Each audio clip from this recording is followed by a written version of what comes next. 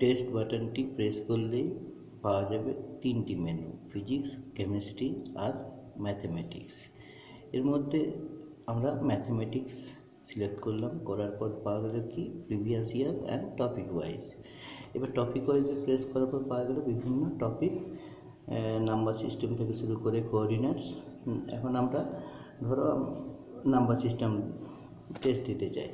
Test বাটনটি press করলেই খুলে যাবে ওয়েলকাম স্ক্রিন সেখানে নিচে স্টার্ট বাটন আছে, সেটা প্রেস করলেই আমরা টেস্ট স্ক্রিনটা পেয়ে টেস্ট টেস্ট স্ক্রিনের ঠিক নিচে বাঁ দিকে রয়েছে সেভ অ্যান্ড প্রিভিয়াস বাটন এই save and previous button press করলে কী হবে? যে আমাদের কারেন্ট রেসপন্সটা সেভ হবে এবং তার প্রিভিয়াস কোশ্চেন পৌঁছাবে এবং ডান দিকে যেটা আছে সেটা হচ্ছে সেভ অ্যান্ড নেক্সট এটা প্রেস করলে কী হবে? কারেন্ট রেসপন্স সেভ হবে এবং পরের কোশ্চেনটি ওপেন হয়ে যাবে। ঠিক ঠিক তার উপরে রয়েছে ইউজার রেসপন্স বাটনগুলি এই বাটনগুলি রয়েছে এ বি সি এবং টি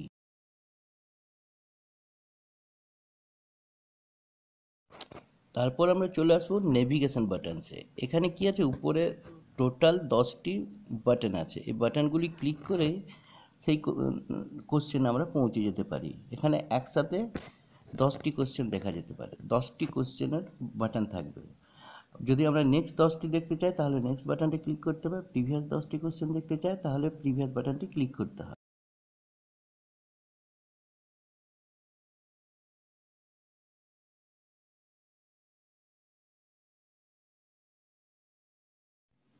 টেস্ট দেওয়া যদি কমপ্লিট হয়ে যায়, তাহলে নিচে সাবমিট বাটনটি প্রেস করলেই আমরা টেস্ট স্ক্রিন থেকে রেজাল্ট স্ক্রিনে পৌঁছে যাব।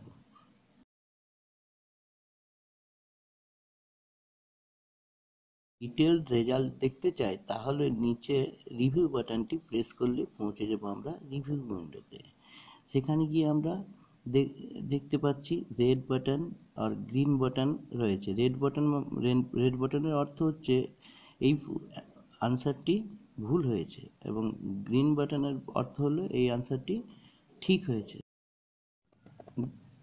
ডান বাটনটি প্রেস করলেই আমরা পৌঁছে যাব রেজাল্ট স্ক্রিনে এবং সেখান থেকে ব্যাক বাটনটি প্রেস করলে আমরা পৌঁছে যাব মেন উইন্ডোতে।